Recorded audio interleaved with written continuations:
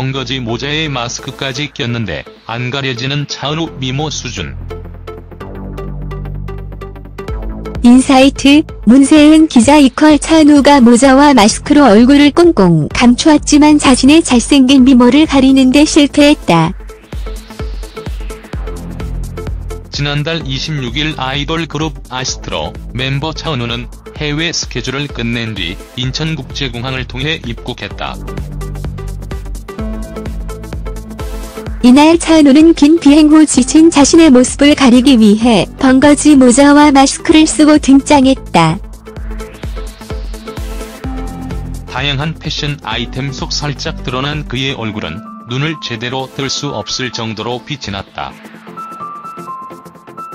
차은우는 흥한 패션 스타일마저 모델 같은 자태로 소화해내며 공항을 런웨이장으로 만들어버렸다.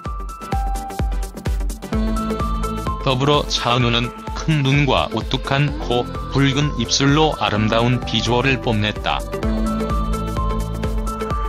그는 무대 위에서 보여주던 진한 화장과 달리 내추럴한 모습으로 청초한 미모를 자랑했다. 하루가 다르게 더 잘생겨지며 매일 레전드를 경신하고 있는 그의 모습에 팬들은 설레는 마음을 감추지 못했다. 팬들은 저렇게 생겨도 되나 싶은 그런 말도 안 되는 얼굴이다. 은호야 고마워. 네가 내 공기청정기야. 박보검이랑 드라마 하나만 하면 안 되나?